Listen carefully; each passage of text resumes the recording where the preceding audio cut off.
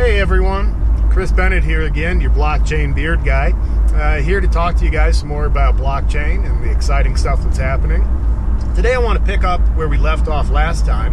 And if you didn't get to see that, it's real easy. Just go click the blockchain beard guy hashtag in the description. You can see all the videos, catch up, and as always, if you have any questions or anything doesn't make sense, uh, feel free to reach out, connect with me, and ask. Um, so today I want to talk about uh, continuing what we touched on last time, uh, proof of work, group consensus, and the talk and experiment to move into proof of stake. What the difference is, what they mean, um, and uh, what it could mean long term for blockchain and uh, platforms like Ethereum. So proof of work has worked really good so far, but we're starting to bump up against some of the limitations it has um, because all of these computers, all these nodes, all of us sitting in the stadium have to do this enormous guessing game every time we want to add a new block of transactions onto the chain.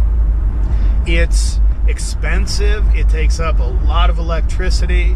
Um, there are a lot of environmental concerns because a lot of the electricity that's being consumed for this work uh, isn't coming from green sources, it's coming from coal and petroleum.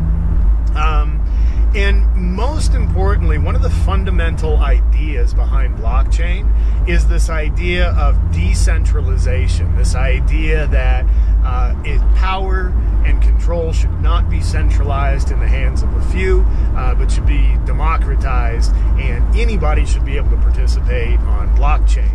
Um, the problem with proof of work is that most mining activities takes place takes place right now um, in, in about a dozen or so giant mining facilities across the world, and that's not really the the vision that I think Satoshi had and the blockchain community has.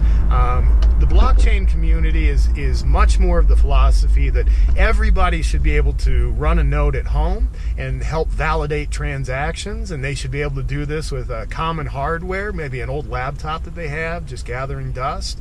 Um, and that way it, it, makes it more trustable um, because everybody or, or, most everybody can participate and they can get rewarded for doing so um, so that's a big concern is that proof of work is becoming a very centralized process in a decentralized architecture.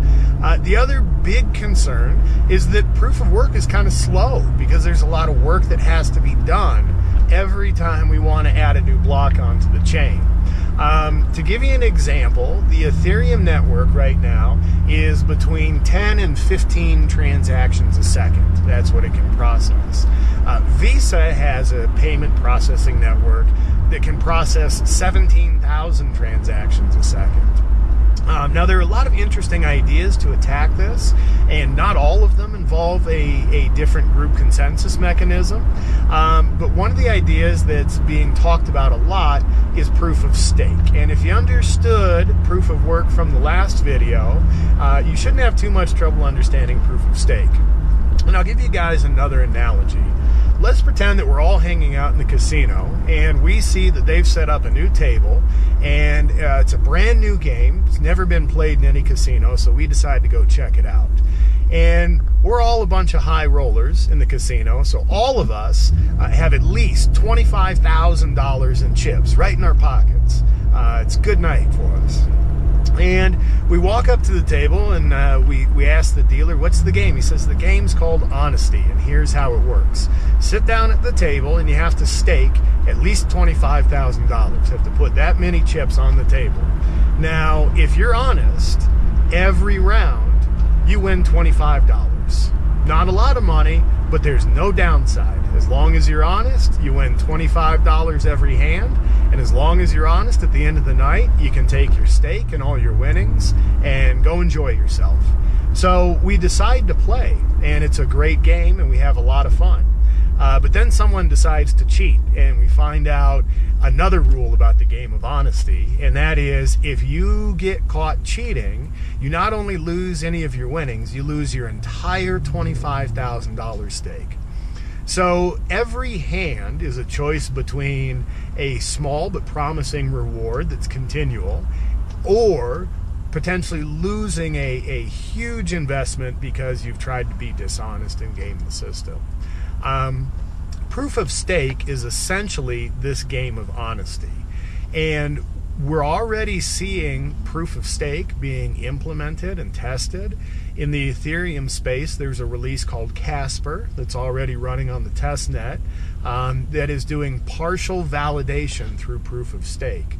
And one of the reasons I'm really a fan of Ethereum uh, is because I think they have the most realistic and the most long term vision in the space. I think they're actively addressing, identifying, and addressing all the issues that will prevent uh, big business from getting into blockchain, and this is one of them. And so they're very cautious about testing proof of stake and also not making it a hard fork or a hard transition, uh, but slowly transitioning from proof of work to proof of stake. Um, so watch for that as 2018 goes on. Uh, proof of stake being rolled out more and more. Look for those transaction times to go up, and uh, it's going to be an exciting year in the space. As always, if you guys have any questions, uh, connect with me, shoot me a message, leave something in the comments. I love talking with you guys, uh, learning about how I can help. And as always, I'm here for you. Kris Bennett, your blockchain beard guy.